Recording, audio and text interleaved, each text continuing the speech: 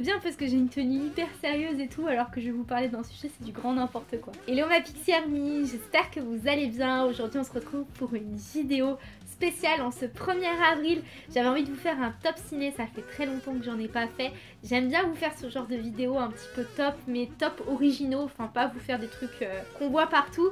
Donc aujourd'hui, en ce 1er avril, je vous propose de vous faire un top 10 des personnages que je trouve les plus drôles dans les Disney et dans les films Pixar. Ceux qui me font exploser de rire à chaque fois. Avant toute chose, je tiens à rappeler que ce top est un top personnel, c'est absolument pas un top objectif, ce sont les personnages qui me font rire moi, ça veut pas dire que ce sont les personnages les plus drôles du monde. Donc n'hésitez pas à me dire vous dans les commentaires quels sont vous les personnages qui vous font le plus rire. J'ai hâte qu'on débatte ensemble, voir si on a les mêmes.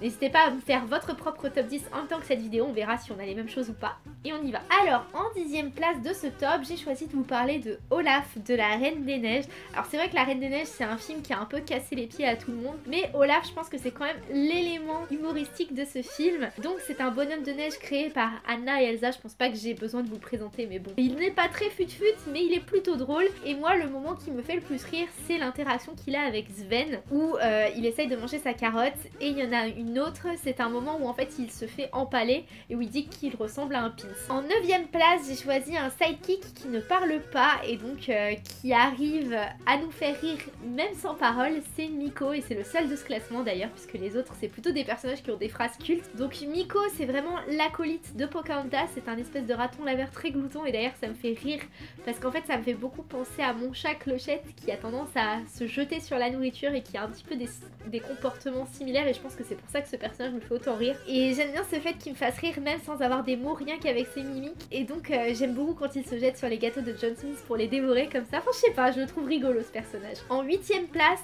et c'est le seul méchant de mon classement, même si j'avoue que j'aurais aussi pu mettre Isma, j'ai choisi de mettre le personnage de Hadès dans Hercule. Alors Hadès, c'est le dieu des enfers, il cherche à prendre euh, place sur le monde d'Olympe. Et en fait, pour moi, il a des phrases qui sont hyper percutantes, il a des punchlines le mec. Je sais pas, je le trouve hyper drôle, alors que je pense pas que ce soit le but premier, mais il est quand même très marrant dans son genre. La phrase qui me fait le plus rire, c'est quand on a euh, Pen et Panique qui reviennent de Grèce avec les objets, les sandales et le, et verre collector de Hercule, que Hadès pète un plot, il me fait juste trop rire à ce moment-ci. Le septième personnage, c'est le seul personnage féminin de ma liste c'est le personnage de Dory, donc euh, qu'on ne présente plus je pense. Ce petit poisson qui a la mémoire qui flanche et auquel je m'identifie beaucoup parce que moi-même je n'ai pas beaucoup de mémoire. Dory là encore c'est un personnage qui fait rire malgré elle, c'est-à-dire qu'elle ne cherche pas à être drôle, mais sa personnalité un petit peu fantasque. Elle a un humour qui est bien à elle et qui se détache vraiment et qui se ressent autant dans le monde de Nemo que dans le monde de Dory d'ailleurs. Et je l'aime beaucoup et malgré le fait que ce soit un poisson, je pense aussi que dans Stop,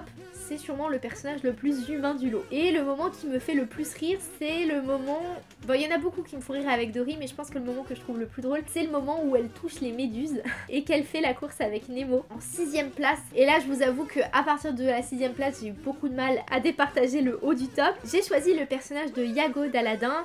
Alors, Yago, c'est le perroquet rouge qui accompagne Jafar. Donc, c'est un perroquet qui a les mêmes ambitions que Jafar, accéder au trône, etc. Qui en a un petit peu marre du sultan et de sa fille. Et ce personnage est cynique à mort. Et pour moi, il vole même la vedette à Jafar. C'est l'un des seuls sidekicks de méchants qui a une véritable personnalité qui se dégage vraiment. Et le moment qui me fait le plus rire, c'est quand Yago imite d'autres personnes du palais. Je pense notamment à Jasmine et au sultan avec ses petits gâteaux. Et je pense aussi à mon amie qui s'appelle Audrey et qui adore le moment où Yago se retrouve coincé. Enfin, c'est un personnage qui a quand même pas mal de scènes cultes dans son film. En cinquième place, et comme je vous le disais là, ça commence à être serré entre les différents participants, j'ai choisi de parler de Mouchou de Mulan. Alors Mouchou, c'est quand même pour moi autant le personnage principal de l'histoire que Mulan. C'est le dragon qui l'accompagne tout au long de son périple. Petit dragon qui est hyper drôle, mais qui reste malgré tout touchant.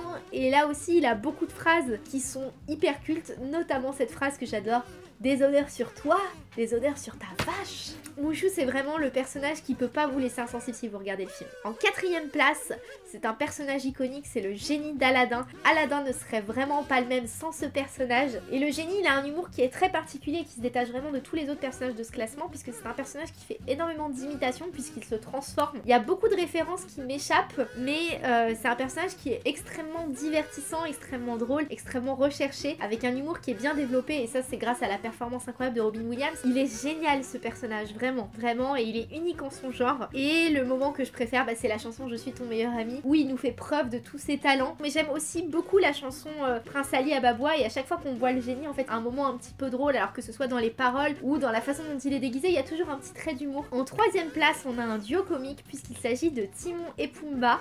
C'est un duo emblématique et phare qui a marqué mon enfance. Je pense que c'est mes personnages préférés du Roi Lion, clairement. Je les adore ensemble. Et d'ailleurs, ils ont même un film qui leur est dédié, et c'est surtout là qu'ils sont les plus drôles, et une série aussi. Le film Le Roi Lion 3 ou Le Roi Lion 1,5, c'est vraiment pour moi le film où on voit tout le potentiel comique de ce duo et en particulier Timon qui est très drôle, qui a beaucoup de réparties aussi, qui a une vie qui est assez amusante puisque bah, si vous avez pas vu le 3, en fait on apprend toute l'histoire de Timon, pourquoi il a quitté sa colonie pour ensuite s'installer euh, bah, chez les lions quand même. Et alors creuse un tunnel, c'est toute ma vie, ou court le Enfin il y a beaucoup de références comme ça que, que j'adore et enfin c'est vraiment des personnages Disney merveilleux. En seconde place, personnage Pixar les gars, Bob Razowski. Alors Bob Razowski, c'est le, petit monstre vert de Monstre et compagnie qui est pour moi le personnage principal du film. Et même dans le premier film, alors que pourtant le sujet est pas vraiment extrêmement drôle, Bob c'est vraiment le personnage humoristique de ce film. Pour moi, euh, le duo Sully-Bob c'est vraiment la force de ce duo il y a énormément de phrases cultes qui m'ont marqué. Euh, je sais que ce film je l'ai revu et vu et revu et re-revu et re-re-revu avec mon petit frère. Euh, c'était vraiment le film de notre enfance, on l'a vu dans toutes les langues. Je pourrais pas choisir un moment vraiment qui m'a plus fait rire que les autres, mais je sais que j'aime beaucoup Ne pète pas un boulon Des nous à bout du plancher aussi, sinon je pique une crise. Pom pom pom pom pom. Alors pour ceux qui n'ont pas vu le film, ce passage-là, c'est le passage où Bob fait croire à des collègues qui ont grillé euh, le fait qu'il pourrait y avoir une enfant dans la centrale, qui sont en train de monter une comédie musicale et donc du coup ils improvisent des paroles sur le tas et c'est l'un de mes moments préférés. Et il y a aussi une anecdote que je peux vous raconter, c'est qu'à un moment dans le film, Bob donne son adresse mail qui est et moi mon petit frère on avait essayé de lui envoyer un mail à l'époque. Donc voilà, mon personnage préféré et alors là par contre autant j'ai des hésitations entre le 2 et le 5, autant le premier aucun doute, le personnage Disney qui me fait le plus rire c'est Kronk. Mais on peut aussi mettre tout l'ensemble du film Cusco, hein, que ce soit Kronk, Isma ou Cusco, les trois sont à hurler de rire, mais Kronk en fait c'est vraiment un personnage